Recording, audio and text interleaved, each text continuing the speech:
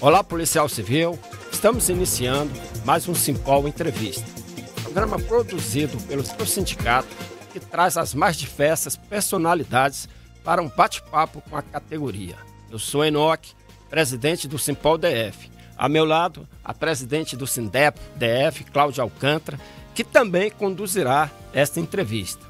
Durante a transmissão, o chat do YouTube estará aberto para que os espectadores possam se manifestar com perguntas e opiniões. É importante ressaltar que o respeito e a serenidade devem ser observados durante toda a entrevista. Na edição de hoje, nós temos a honra de receber a deputada federal Érica Cocai. É uma boa noite, dizer uma boa noite para Cláudia, Enoque e para todas as pessoas que estão nos assistindo nesse momento. É uma alegria estar aqui. Claudinha. Prazer é todo nosso em receber a senhora aqui, né? Ainda mais que a gente tem muitas perguntas né, a fazer. Né? Nós vamos aqui num bate-papo, né? Bem tranquilo. Isso. É, o nosso programa ele é estilo podcast, né?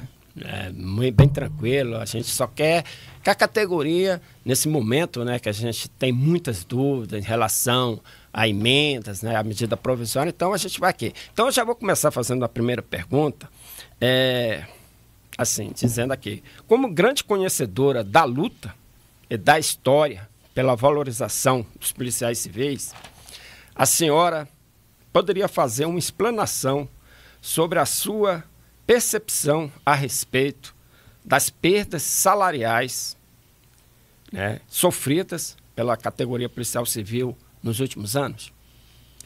Não, com certeza. É inegável que você teve uma perda salarial, houve uma política de, é, de considerar de uma forma absolutamente injusta e nociva para o país servidores e servidoras como inimigos públicos.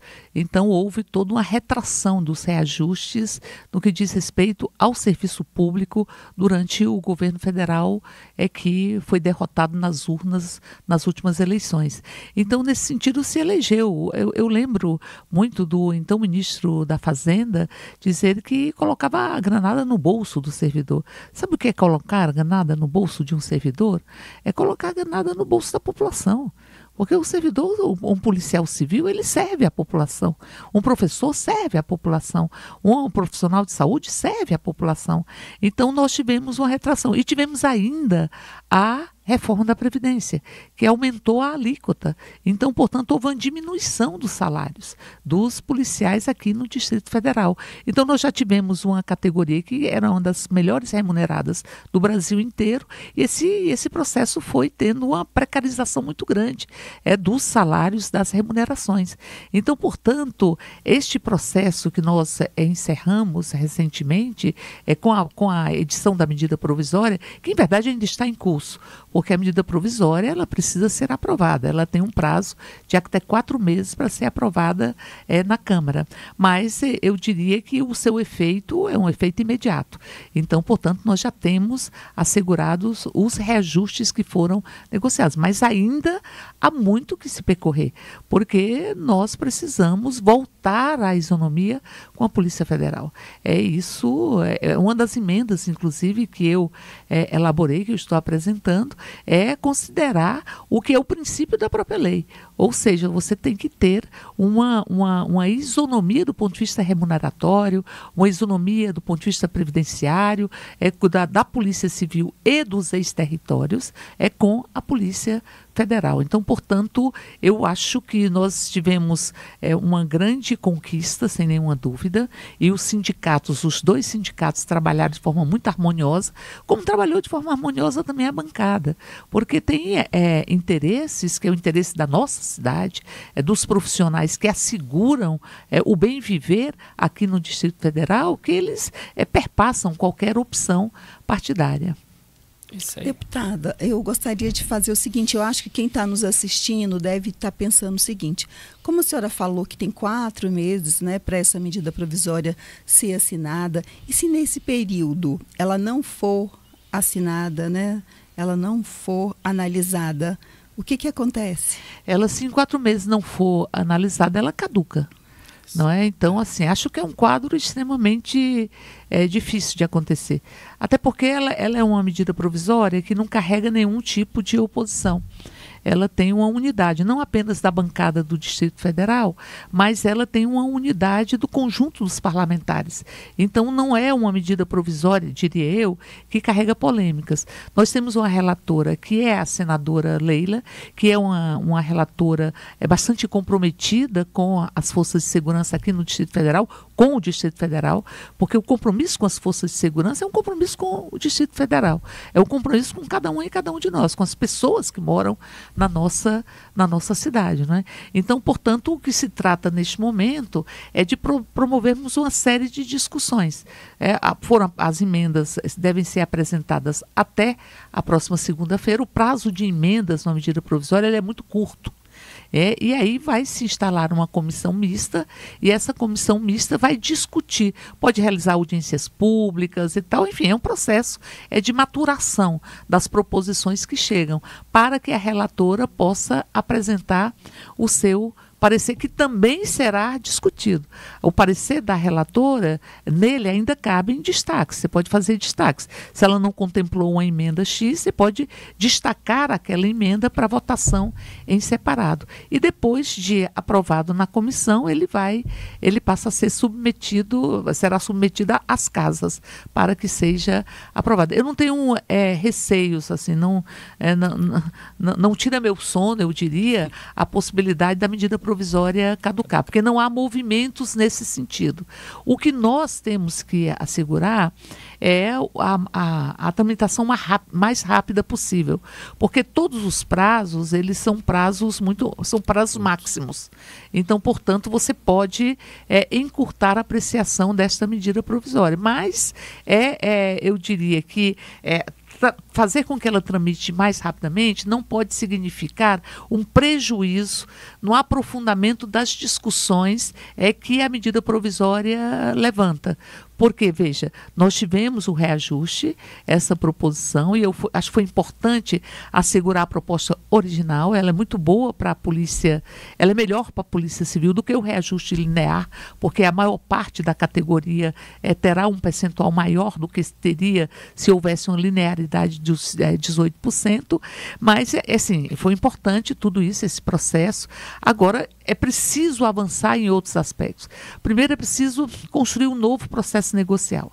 Eu sempre digo isso, assim, que é uma dupla paternidade, acaba sendo uma dupla orfandade. Então, você tem um processo de negociação duro e árduo com o governo local. O governo local encaminha a medida provisória, ela vai passando de ministério em ministério.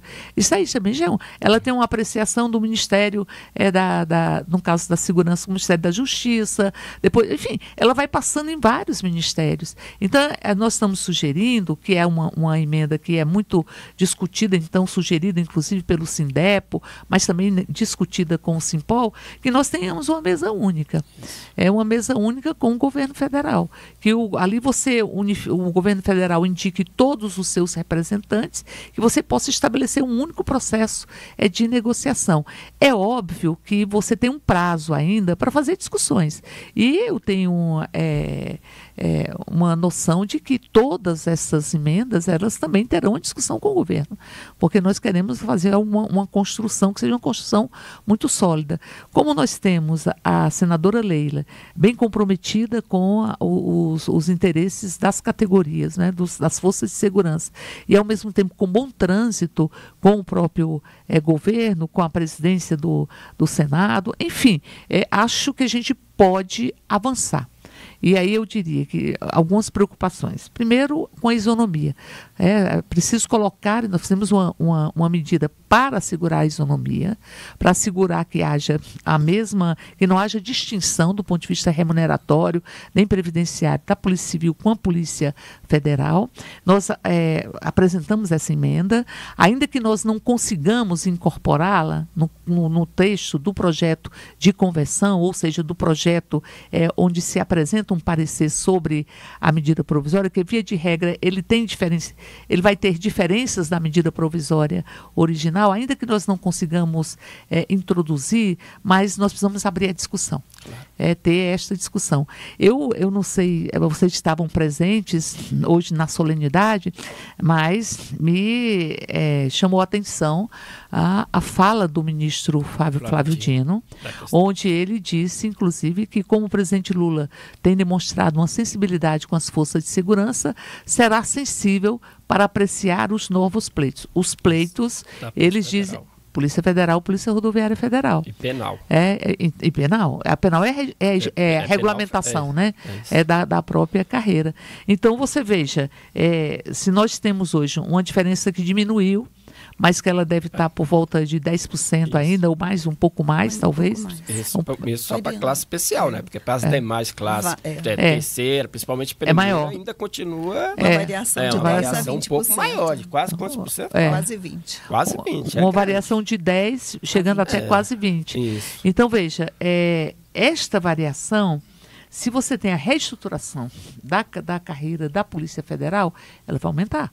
Porque você, se você, você reestruturar a carreira da Polícia Federal e esquecer a Polícia Civil, vai aumentar essa diferença. E nós já tivemos a isonomia. A isonomia foi assegurada e ela foi mantida durante, acho que durante os governos do Lula, é, se manteve sempre, sempre a isonomia. Sempre. Até sempre o governo da presidente, a presidente Dilma, Dilma, da, é. depois da, que saiu o presidente Dilma, é que, é, né, que houve essa... É, e havia o compromisso da presidenta Dilma de assegurar a manutenção da isonomia. E a, ela foi, é, digamos, é, foi, foi, vítima de, de, um golpe, não tenho nenhuma dúvida, hoje, de forma muito mais é, concreta do que até então, houve um golpe contra a presidenta Dilma e essa, essa isonomia ela se desconstruiu. Então, portanto, é, é muito importante que nós possamos. Aí tem uma, uma emenda que nós fizemos por sugestão do Sindepo, que é uma emenda que eu acho que é bastante, é, bastante interessante, lúcida, bastante importante, que é assegurar é que também eu acho que o Simpol também trabalhou nessa perspectiva e tem uma emenda semelhante do deputado é, Rafael Prudente, ou seja, de assegurar que qualquer negociação com a Polícia Federal envolva a Polícia Civil. Isso. Que nós tenhamos um processo de negociação é, coadunado. Isso é importante. Então, veja, nós estamos discutindo a isonomia, que é uma emenda é, única, exclusiva, que nós estamos apresentando, é, relembrando a origem da própria Polícia Federal e a lei, que é uma lei única. Então, portanto, é resgatando os princípios da própria lei, mas nós temos uma emenda que é, que é semelhante a ela, tem também uma emenda do deputado Rafael Prudente, é para que nós asseguremos qualquer negociação com a Polícia Federal que seja também, que envolva também a Polícia Civil. Acho que a gente tem que avançar nisso.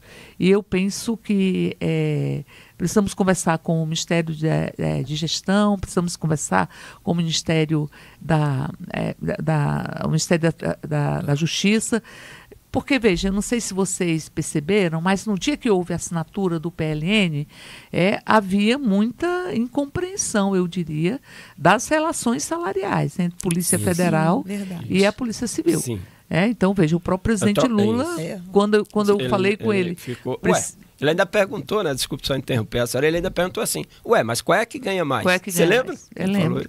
Quando nós falamos, oh, Lula, é preciso assegurar a isonomia entre Polícia Civil e Polícia Federal, ele perguntou quem ganha mais. e o ministro Dino também é, apresentou alguma coisa, Cláudia.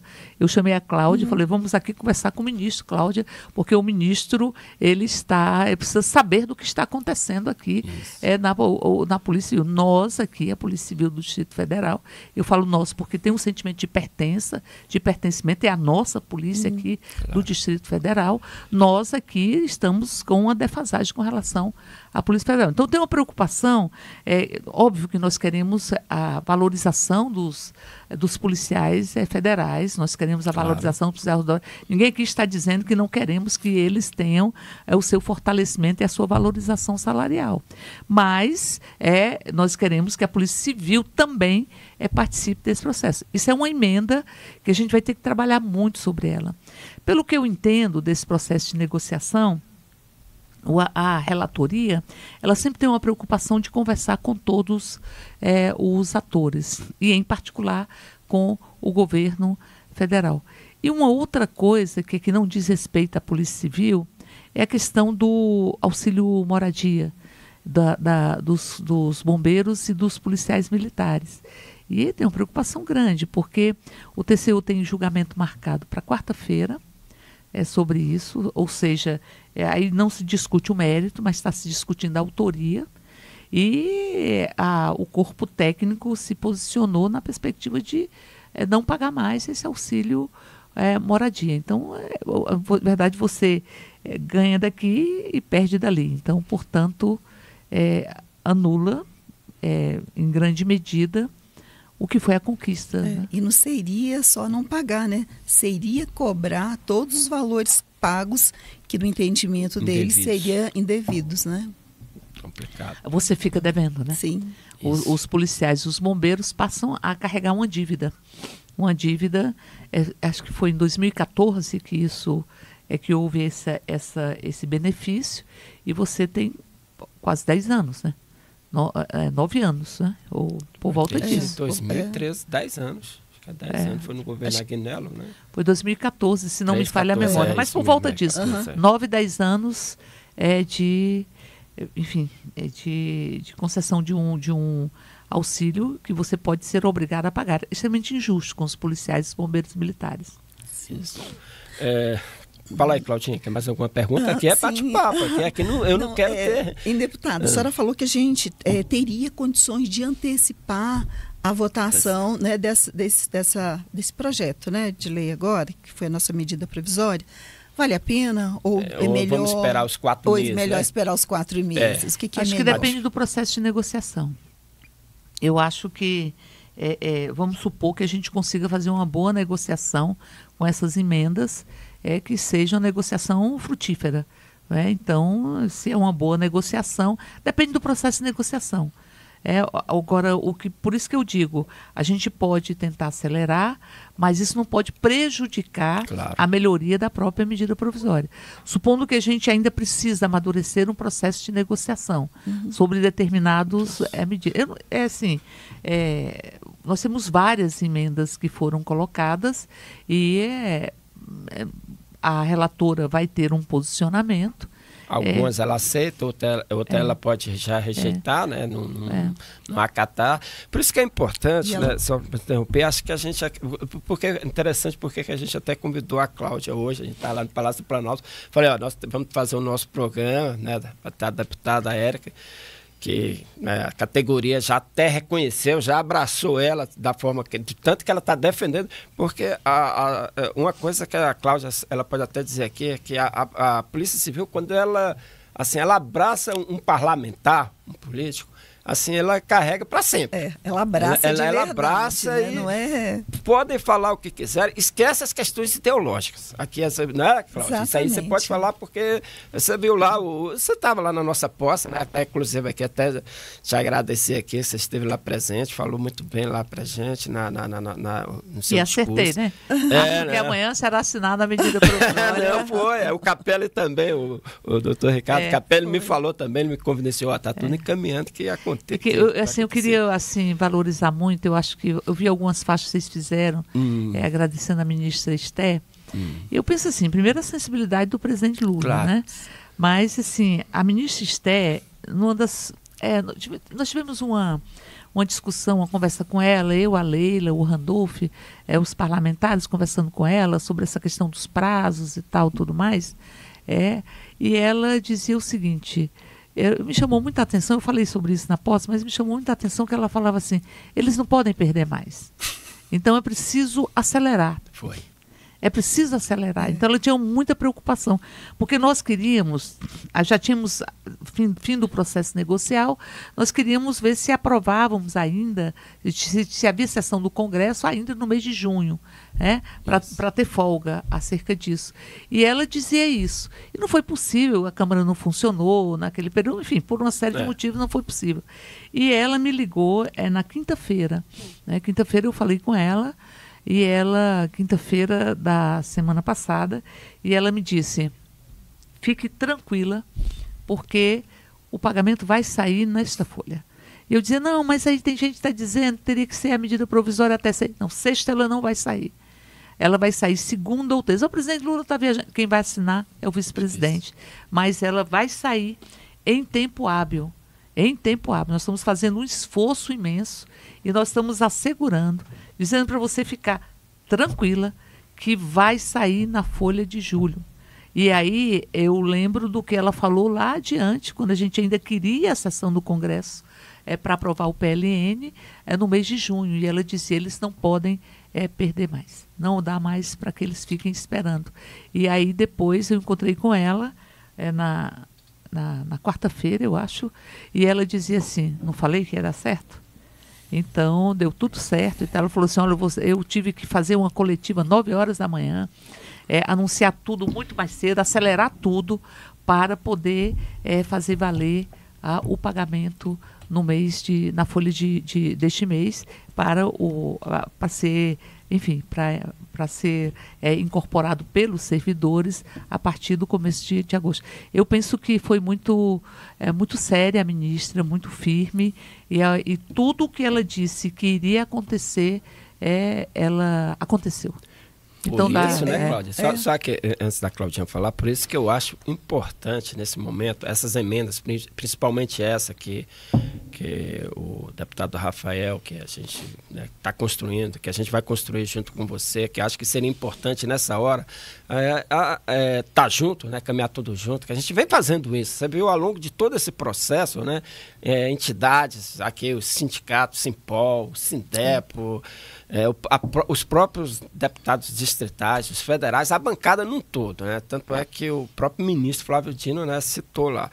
Então, assim, eu acho que seria um momento, porque o que, é que a gente começou a perceber? Acho que você mesmo percebeu isso, a, a deputada, que o próprio governo federal falava para a gente, falou, vamos procurar alinhar, por isso que eu quero te trazer aqui um debate importante, a questão do GDF está participando no processo. Porque a gente vê que sempre há essa questão, essa zonança, que é aquilo lá atrás, você lembra de que um, um queria, o, depois era o outro. Você lembra? Você falava sempre isso pra gente. E a gente é. assim, aí a gente está tentando, dentro de uma emenda, né, Cláudia, que a gente está colocando aqui, que até vai te trazendo, ela já tem, conhece o teu da emenda? Não, ainda não, né?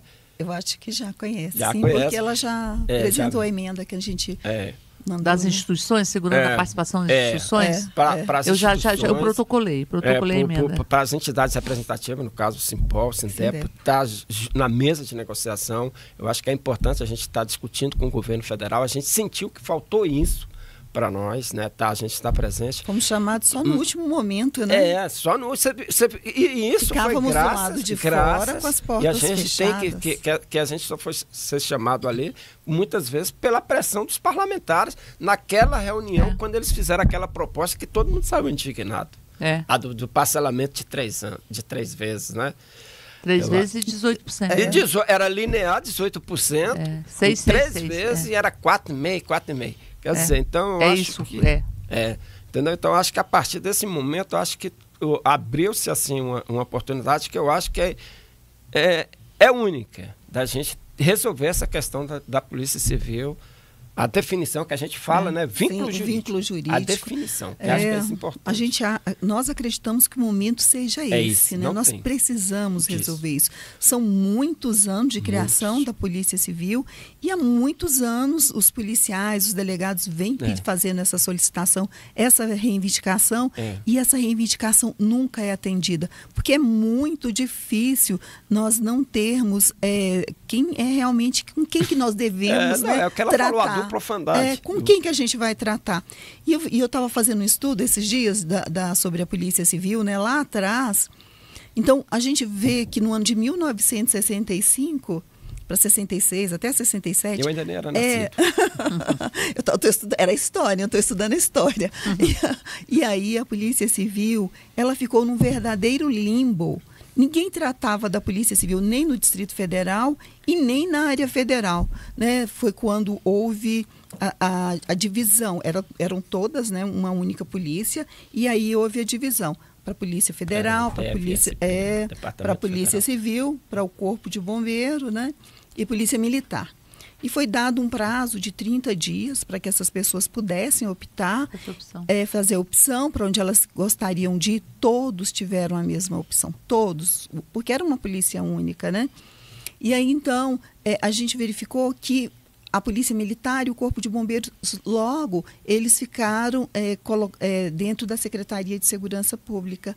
E a Polícia Civil, ela ficou no limbo, não se tratou, entendeu? E isso era ruim porque quando ela não tem quem vai tratar, ela não tinha também quem fosse trazer o orçamento para ela, né? Naquela época, considerando que o, que o Distrito Federal ainda não era como é o Distrito Federal hoje, né? Era, acho que era prefeitura.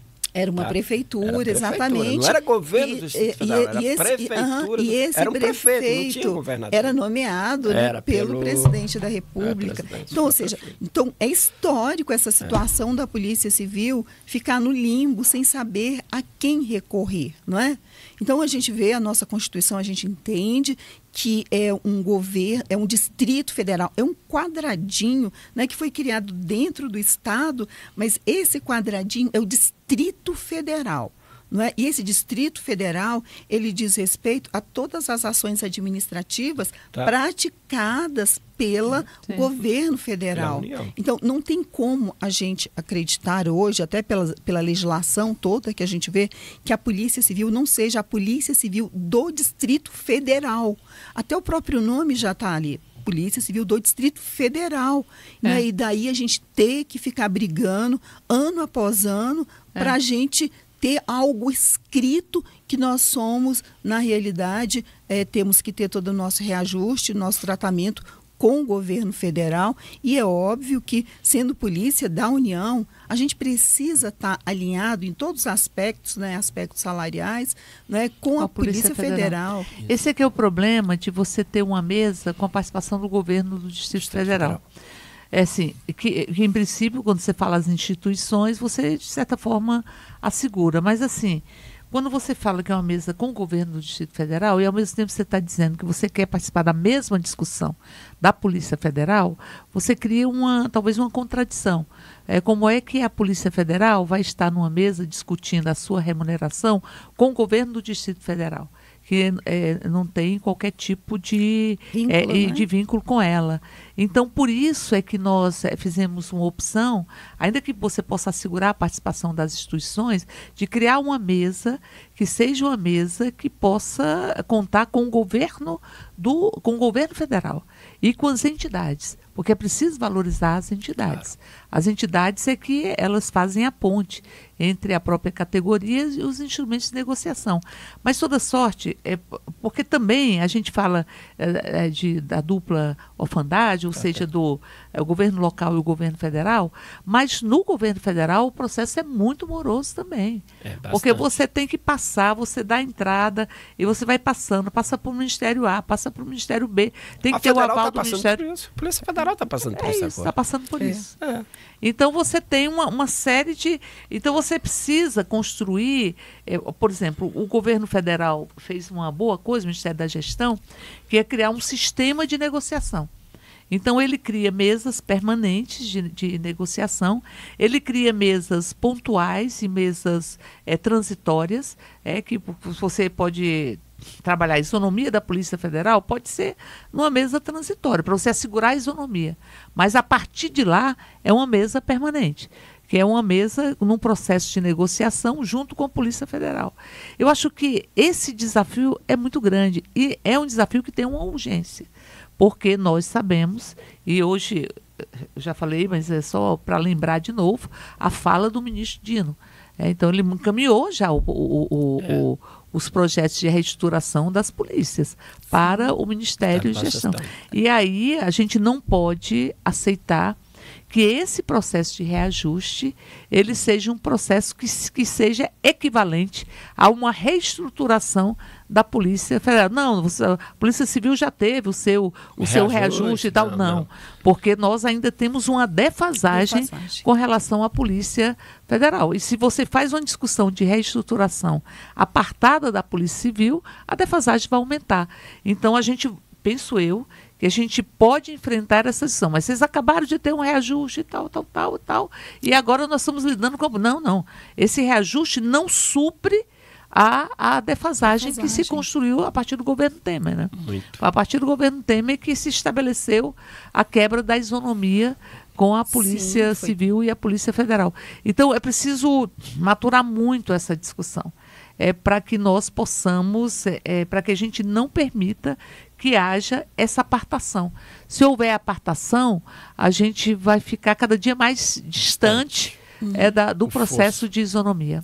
Pois é, é. deputada, para nós que estávamos hoje na solenidade, né, ouvir o ministro Dino falar da questão da Polícia Federal, né, da Polícia Rodoviária Federal, da Polícia Penal e não citar a Polícia é. Civil que é mantida, que é mantida pelo o governo federal, entendeu? Foi muito triste. E nós já ouvimos vários policiais comentando que eh, realmente nós somos órfãos, né? Porque até as pessoas ou o governo, que realmente é o nosso pai, que é o governo federal, esquece que nós existimos. É. Então, para a gente é muito triste. Infelizmente, por conta disso, né, os sindicatos têm trabalhado bastante para que a gente realmente coloque no texto da lei, é. é um, um, no texto da legislação, é, um dispositivo que seja muito claro e que realmente diga quem é o nosso pai. Não é? E a gente, nessa é. emenda, a gente está fazendo uma escolha. E a nossa escolha não é porque a gente acha que o governo federal é melhor ou o governo do Distrito Federal.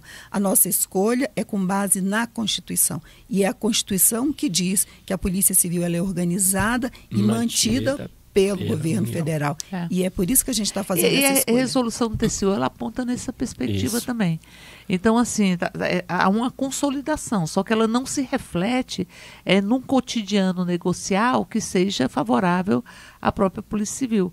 E, assim, então, portanto, eu penso que essa a discussão desta emenda de incorporação de que os processos negociais eles se, sejam é, é, ou seja concomitantes ou unificados eu penso que é absolutamente fundamental eu devo ter uma reunião na semana que vem com o, o secretário Feijó, que foi importante no foi, processo de negociação. Bastante. Foi ele que teve, é, suspendeu a mesa, e foi negociar e trouxe uma solução para esse processo de reajuste, né?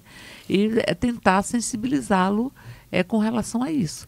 É, penso que é fim do prazo de emendas, segunda-feira. Eu acho que nós deveríamos marcar o mais rapidamente possível com a relatora para saber é, qual é a, a, a, a, visão que ela está tendo, como é que ela está pensando naquelas medidas, mas paralelamente a gente precisa estabelecer um processo de negociação é, com o governo, o governo federal. Claro. É, para que a gente possa é, negociamos com a relatora e até juntos, né? Porque se a gente fecha, porque a relatora ela pode dizer não, mas eu tô, tô de acordo com essas proposições, vamos trabalhar para que elas possam ter maioria, porque isso vai para votação. Então a relatora, o voto dela é importante, mas o voto dela pode ser é, pode ser no plenário, na comissão não acredito, mas no plenário ele pode ser não ser acatado. Não ser acatado. Você pode é. fazer emendas, é, destaques, né? Pode fazer destaques em emendas. Então é, é um processo de negociação que é agora não, que está. É. Uma coisa que eu acho que é até bom a gente tirar um pouco até a dúvida em relação que a categoria tem até a questão de. Vou até, a minha também, vou até falar aqui, acho que é de todos. Essa mesma negociação que a gente está propondo, a participação, que acho que tem que ficar até claro, até para o pessoal entender, que o pessoal sempre vai pensar, poxa, então os militares vão estar junto? Não, eu acho que seria interessante a senhora até frisar, porque. É. A, a, a, situação dos militares, como você já até frisou aí a questão de outros auxílios deles, eu acho que ela não pode. Porque a gente sempre vê aquela coisa que os militares, eles aqui do, principalmente do DF, eles querem que tenha um tratamento isonômico entre as duas corporações, entre as corporações, né? entre Polícia Civil, Corpo de Bombeiro Militar. E a gente vê que não pode ser assim. Por quê? Eles têm um regime jurídico próprio, têm é, sistema previdenciário diferente, aposentadorias totalmente diferentes, existe N benefícios é. que eles possui direitos, né? O tem... cita aqui, a gente tem que citar a questão da licença especial. em pecúnia, que nós policiais civis não, não temos. temos. Então, eu acho que é importante aqui até a gente estar tá aqui acompanhando o pessoal saber, né, dizer que esse, é, essa busca, porque ficou muito marcado pessoal que nós, né, eu e a Cláudia aqui, né, que nós estamos nessa tratativa desde a lei do GDF, né, que nós estávamos querendo fazer que tivesse essa isonomia. Não, em momento nenhum, né, a gente sempre frisou, nós somos entidades representativas da tá. carreira Polícia Civil. Né? E tem um detalhe muito claro que a gente também não pode esquecer, né, hum. Nock? que o próprio STF já é, decidiu que sim. não existe paridade, isonomia, uhum. nada entre policiais militares e policiais civis, por todas as razões que claro. o Enoch já falou. Então, é um texto muito claro e ele não é um texto antigo, é um texto recente. Isso. Então, não há não, que se falar Nós temos nisso. todo o interesse, acho que todos, que nós, todos nós, de que tenhamos uma polícia militar valorizada, claro, um, com certeza. Um, valorizados. Então, é, tem uma emergência, que eu já falava sobre ela, que é a questão do auxílio moradia, que eles estão é. em risco aí não de é, ter uma, um, um, empoderamento da sua própria remuneração, mas ter um decréscimo. Então, é, é grave isso.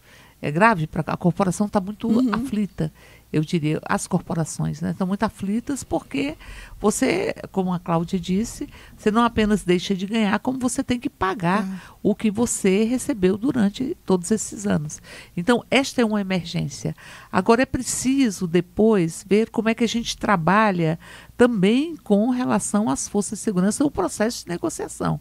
Nós estamos aqui, as emendas, elas são bastante objetivas.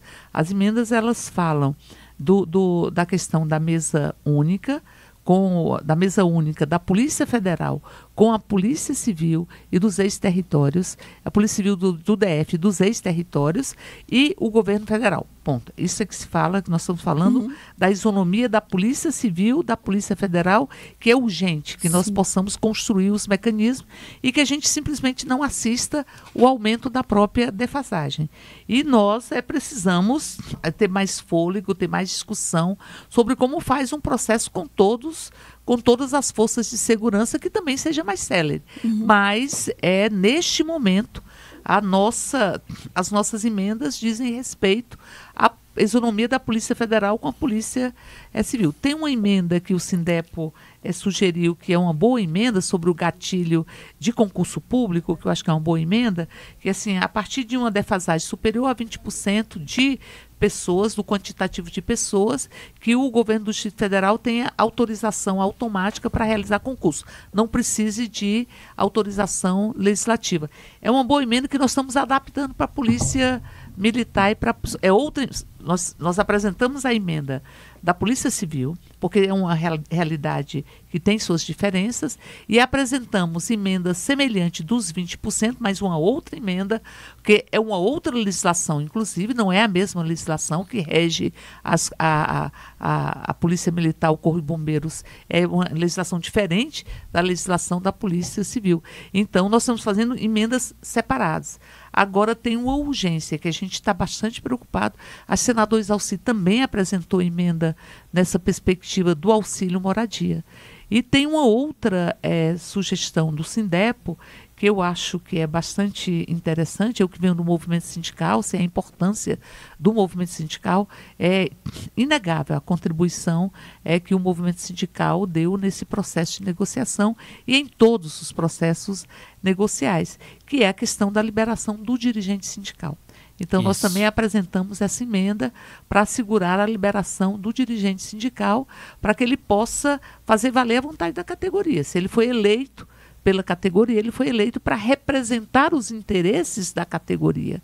Então, portanto, ele precisa ter disponibilidade para que ele possa exercer essa função. É um respeito à própria categoria e à vontade da categoria. Nós apresentamos também essa emenda. Então, assim, é, é o, nós estaremos sempre trabalhando para fortalecer a remuneração e as condições de trabalho da polícia, polícia militar, do Corpo Bombeiro, são forças importantíssimas para o bem viver aqui do Distrito Federal, mas no que diz respeito à isonomia, nós e, e o processo negocial, nós estamos trabalhando especificamente Polícia Civil e isonomia com a Polícia federal. E veja, é isso, mas isso é, é começa ou é como, como diz o poeta, né? Todo ponto de chegada é um ponto de partida também.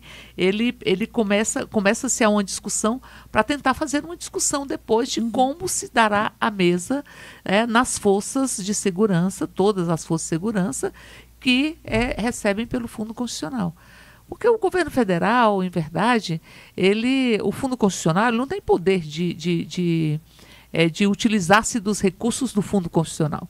É, então, assim, ele não, tem, não pode pegar o recurso do Fundo Constitucional e jogar para saúde federal ou para, enfim, para política de ação, qualquer política pública federal. O fundo, ele é, é, a Constituição é clara sobre o seu, ou nítida sobre a sua aplicação.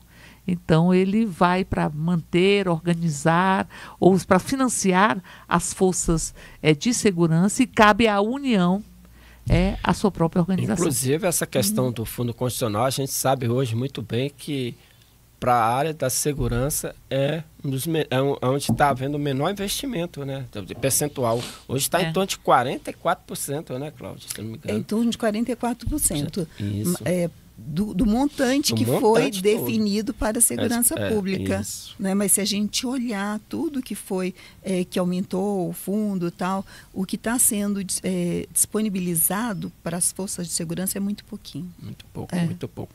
A gente está quase ele chegando... teve um reajuste recorde, né? recorde né? né? Muito, é, e, a, e, a, e, nós acreditamos que no ano que vem também. Essa foi a primeira discussão que nós fizemos com o governo federal eu falei assim, só o, o, se você vê a proporcionalidade do que é investido na força de segurança e, o, e, e, e aplica essa proporcionalidade é, no aumento, né? coloca essa proporcionalidade de 44%, 40, é, no que foi no, no, aumento, isso, isso por si só, esses 44% do aumento já é suficiente para o reajuste. É. É, então, essa foi um é. grande argumento porque o governo federal é, é, não tinha tanto entendimento. Eu acho uhum. que agora está mais fácil não, é. fazer uma série de negociações é, depois de todas as mesas. Né? Isso, acho importante. eu só queria claro. que deixar claro né, para quem está nos assistindo que assim a gente não está né, querendo criar nenhuma um, uma indisposição com, força, com as forças Força, né, não, militar, nem não. com o pessoal do bombeiro, de jeito nenhum. O que a gente tem trabalhado é porque a nossa lei, que é que é o nosso regime jurídico, que é 4878-65, ele é claro que ele é aplicável à Polícia Federal e à Polícia Civil. Não é? Tanto é que está se fazendo lá no Ministério da Gestão e Inovação, salvo engano, não é uma alteração nessa lei 4878 e está se mudando só os tópicos que dizem respeito às transgressões administrativas. E essas transgressões administrativas, elas são aplicadas da mesma maneira, tanto a Polícia, tanto a, a Polícia Federal quanto a Polícia Civil. Então, é uma lei só para as duas carreiras, né? Então, por isso a gente é, briga por é. essa Porque por é bom é, lembrar o que o Capelli falava na, na, na posse né, do Simpol. Hum. E ele dizia o seguinte, o que possibilitou o avanço das negociações foi a unidade. Isso. E eu acho que a gente sempre tem que estar tá cuidando desta unidade é, é, no processo que está posto. Ele diz assim, a unidade entre o Corpo de Bombeiros, a Polícia Militar e a Polícia Civil possibilitou que a gente tivesse força é, para poder é, fazer essa conquista. Como nós queremos é, um processo negocial vinculado à Polícia Federal, é, é, nós queremos é, construir uma unidade que faça valer o que é previsto na lei. Então, como você dizia, a lei é clara sobre claro. isso. É isso. Sim. É, estamos quase chegando ao final, né? A gente vai aqui é, dar os agradecimentos, né? Às entidades aqui, Sintep, Simpol, não tem como agradecer, né? É, todo seu trabalho, né? Desenvolvido aí ao longo desse esse longo processo de negociação, tá? Que acabou que a gente, igual o pessoal na, lá na nossa posse, tudo falou que a gente tem que conquistar, é, tem que comemorar que foi uma conquista. Você sabe, a senhora muito bem sabe, né, como é que foi o, o processo foi muito trabalhoso, né, custoso, negociação, mas a gente tem que comemorar, mas tem que agradecer também é, é o, o acesso, né, que a senhora das entidades, né, tanto ao Sindep como ao Simpol, seu gabinete. Né. Queria agora que você desse aí umas últimas palavras, né, dire direcionada direto para a categoria, né, se, se despedindo, né, é. para a gente poder encerrar aqui o nosso programa. Não, eu dizer que foi uma, uma alegria conversar uh, nessa, nesta tarde e dialogar com a categoria. Nós vamos, nosso mandato está absolutamente à disposição. Eu diria que a gente entregou a chave do mandato para a luta, que é a luta justa dos policiais civis aqui no Distrito Federal. O caminho se abriu, eu penso, né? Então, assim, eu, eu, eu sempre digo que a gente tem que valorizar muito as nossas as nossas conquistas, porque elas são sempre degraus para outras conquistas. Né? Então, portanto, valorizar este processo de negociação, todo o processo que se deu, é, é importante. Né? Nós estamos é, felizes porque nós temos hoje uma realidade, o recurso está é, na folha e vai estar é. disponível para os policiais. Mas é que isso sirva para que nós é, tenhamos é, energia e força para as outras discussões. É preciso, e aí eu concordo com a Cláudia, o momento é extremamente propício, porque tem sensibilidade. Isso. Veja, o governo, em tempo recorde, ele concedeu os 9% de reajuste para os servidores eh, públicos federais. Então foi uma negociação muito rápida né? e estabeleceu um sistema de negociação. Eu acompanho, eu venho do movimento sindical, eu fui presidenta dos sindicatos bancários de, a única mulher né, a presidir os sindicatos bancários brasileiros, mais de 60 anos o sindicato. E eu sei é quando que as categorias às vezes faziam greve para abrirem processo de negociação. E não havia negociação para serem vistas, serem escutadas. E agora há um sistema de negociação que para nós eu tive lá na, na no lançamento do sistema, eu fico extremamente feliz que haja um processo estabelecido, há um sistema de negociação, onde que é permanente, é para que todas as categorias sejam escutadas. Nós queremos estar é, fazendo essa discussão nesse sistema de negociação junto com a Polícia Federal. Muito com bem. Certeza. Claudinha, suas últimas palavras para a gente tá. encerrar. Nossa, eu quero aqui agradecer o convite, viu, do, do Simpol para participar deste momento. Para mim, um momento extremamente importante, especial. É a primeira vez que eu participo, né?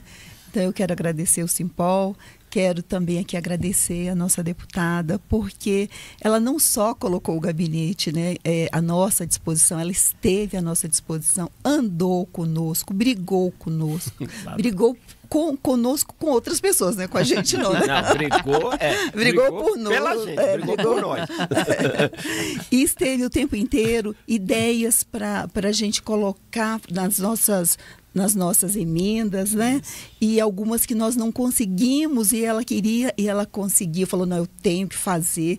Isso é, demonstra o empenho, a dedicação e o envolvimento, né? Tanto é que agora a senhora fala nós né? Então já tem aquele sentimento de pertencimento, é, né? E nós agradecemos demais da conta esse pertencimento da senhora, esse envolvimento, né? E eu tenho certeza que os policiais civis, os delegados que estão nos assistindo, também gostariam de estar falando aqui para a senhora todas essas palavras elogiosas e carinhosas que eu estou proferindo, porque eu sei que não é um sentimento só meu, mas é hoje da nossa categoria da maioria. A gente não tem dúvida é. disso, viu, E deputada? a vitória é da categoria, né? A categoria claro. compareceu muito, né?